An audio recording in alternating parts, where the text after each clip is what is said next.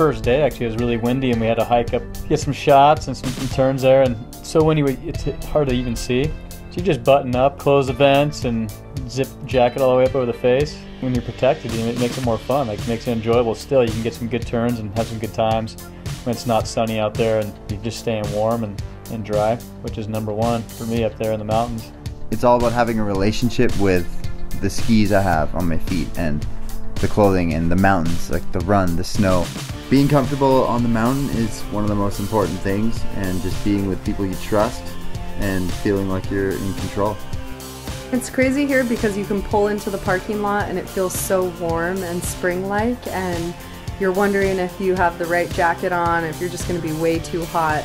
The coldest days that I've had in the mountains maybe aren't the days where the temperature is the coldest, but they're the days where you've taxed your body the most. You're having to hike and kind of put yourself out there in the elements, so it's really nice to have variability in the pieces that you're wearing.